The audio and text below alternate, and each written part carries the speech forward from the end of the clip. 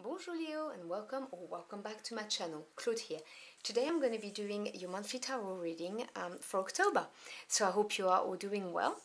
I have split my deck into three piles as always, so you've got the major arcana here for the major energy of the month. Over there you've got the court cards to see how you're advised to show up to maximize the energy, and down here we've got the minor arcana to delve into the message. Uh, if you're interested in the cards I'm using, they'll be listed in the description box below. Now, as always, I'll ask that you please remember those are general readings. They will not resonate with everybody, so take what applies and just drop the rest. So what is the energy for my Leo Querents for October, please?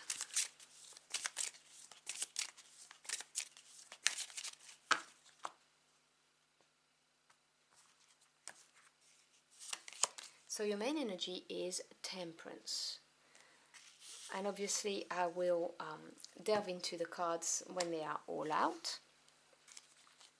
So let's see what court cards you're going to get.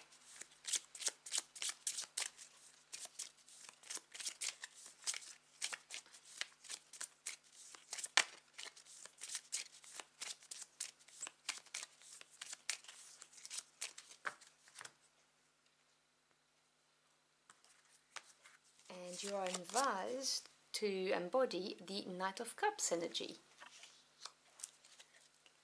Alright, let's delve into your messages.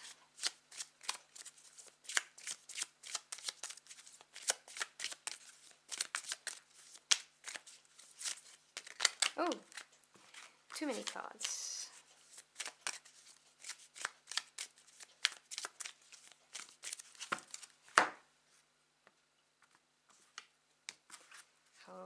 So we have the Five of Cups, followed by the Nine of Swords, and the Five of Swords. Two of Swords,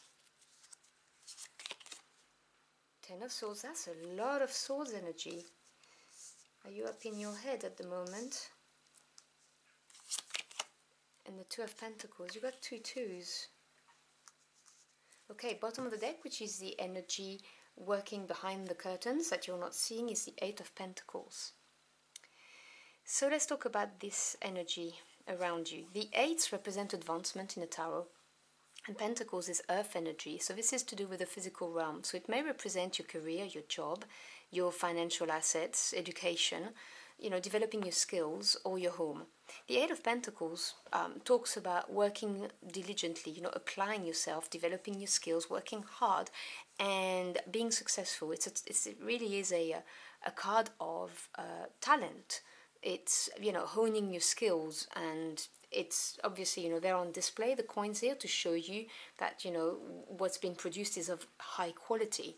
So there is um, this energy around you of you know applying yourself and I'm not surprised to see this energy right here because it it requires a level of patience when you are working with the Eight of Pentacles energy. And your main energy right here is the energy of Temperance, which is the card of patience. Temperance talks about uh, obviously patience, as I've just said, but moderation in everything, no excesses. Um, also, sometimes talks about alchemy, you know, mixing two substances to get a brand new third component that you didn't have before, which obviously requires, again, time, patience, effort. Um, so I see October month being under this kind of flag for you uh, and, you know, requiring it from you a lot of um, self-control and, and patience and not just patience with others but also patience with yourself is what I'm hearing. And in order to maximize these energies, you are, you are advised to embody the traits of the Knight of Cups. Now, there are no genders attached to these cards. Um, obviously, we're talking about the energy of the card. Now, the Knights represents taking action, things moving forward. So you are advised to have an active role, not a passive role, despite the fact that patience, moderations are in order for you this month. And cups represents your feelings, your emotions, your intuition. It's water energy. So the Knight of Cups is a character who's in touch with their feelings and who know what's going to make them happy. Um, they hold that cup. This is the cup of happiness right here, and they take action towards it. So this represents what will make you ultimately happy, and taking concrete steps towards it. You know, looking for that level of happiness, um, and obviously taking action, as I've just said. So we have the Five of Cups and the Two of Swords, and I, I can see why you are looking for happiness, you know, taking action towards something that will make you happy because you've got the Five of Cups, and the fives are change or challenges if you work against the change, and uh, cups being feelings and emotions, this is an emotional challenge. So some things hurt you. Now, an emotional challenge can range, range from sadness, regret, disappointment, upset, um, you know, maybe thinking that having had illusions, you know, not having seen what things were for what they were, basically, having been duped is what I'm hearing. And this is supported by the Two of Swords. Now, the twos represents decisions, uh, crossroads, duality. Um, swords being the mental realm represents thoughts, knowledge, truth, communication. This is somebody who's not making a decision because they're protecting themselves. You can see the protective stance with the swords. So it could be because you feel you don't have enough information to make a decision, you don't know the facts, or it could be because you're protecting yourself because you've been hurt. And no judgment there, okay? I totally get it. You know, you've been hurt, so you're refusing to make a decision, to move forward, even if it's not a question of making a choice, it can just be refusing to move forward because you've been hurt and you're protecting yourself and you know it takes time to reopen your heart when you have been hurt um, which is why I'm seeing this Eight of Pentacles, which is about working diligently, patiently. And I did say, you know, with the Temperance card, with the level of patience required, it may well be that you require patience with yourself. Um, the card of the Knight of Cups obviously uh, incites you and invites you to take action towards your own happiness, but patience with yourself.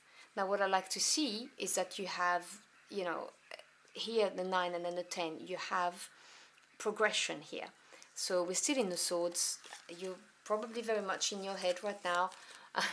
As I said, uh, when I saw the amount of swords coming out, the nines in the tarot represents achievement, but in the mental realm, it's uh, overthinking. It causes stress, anxiety, worries. You know, when you play the same story over and over again in your head.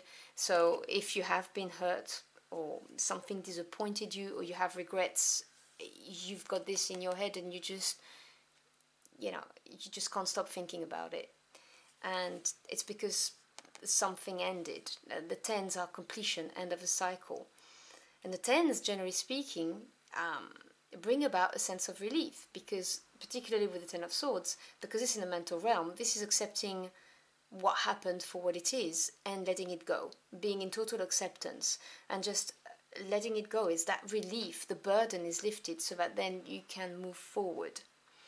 Um, and, you know, it's about getting out of your head. And as I said, this is not an easy thing to do. I am definitely not saying it is.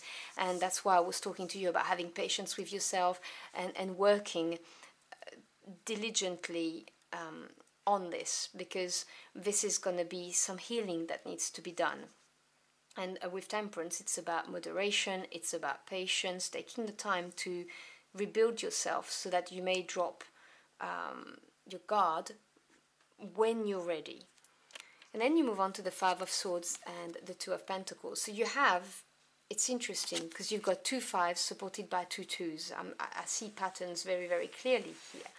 Um, the Five of Swords, so this is a change, obviously, in the way you think, because this is the mental realm. And it's a very important change because you've been hurt. And this has um, or disappointed okay take what resonates or you've got regrets. And this has put you in a position of protecting yourself protecting your heart which is what i'm really hearing. This is saying open your heart go for what's going to make you happy but you are in a position of you know overthinking continuously what had to end what disappointed you what uh, made you feel sad whatever the case may be the regrets you have. This is saying you're going to change the way you look at things um, and you're going to start thinking about yourself first. I'm hearing this loud and clear because the five of swords uh, sometimes people say oh you know it's people taking victories unfairly on people. I don't see it like that. It's a change in the way you think and you have been, uh, for some of you, you may have been abused.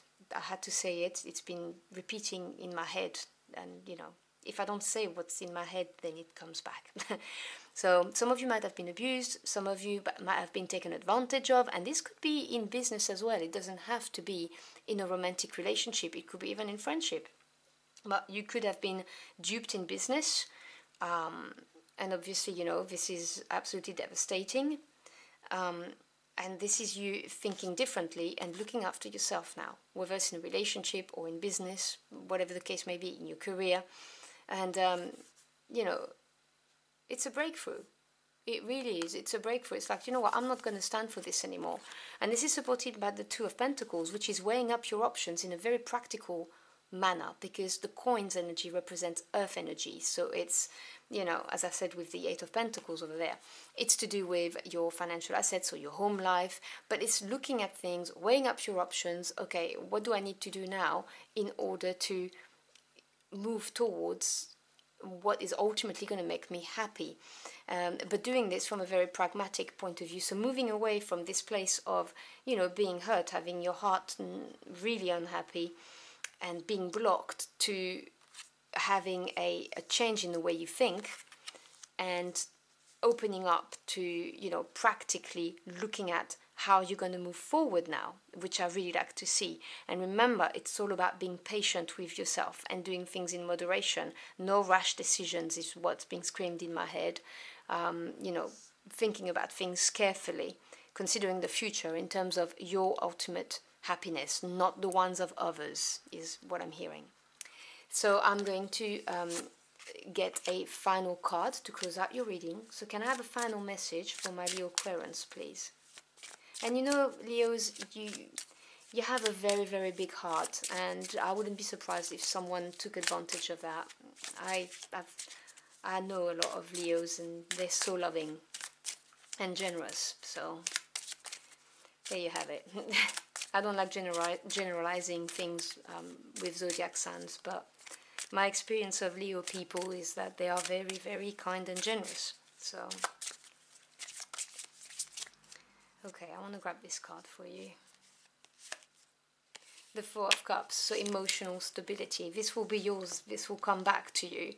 Um, the Four is strong foundation and stability, Cups is emotions and feelings. So, once you have that shift in the way you think and you look at things from a very grounding point of view, you will regain that place of um, contentment, of stability emotionally, which then means that you can move forward, which obviously is, is very important.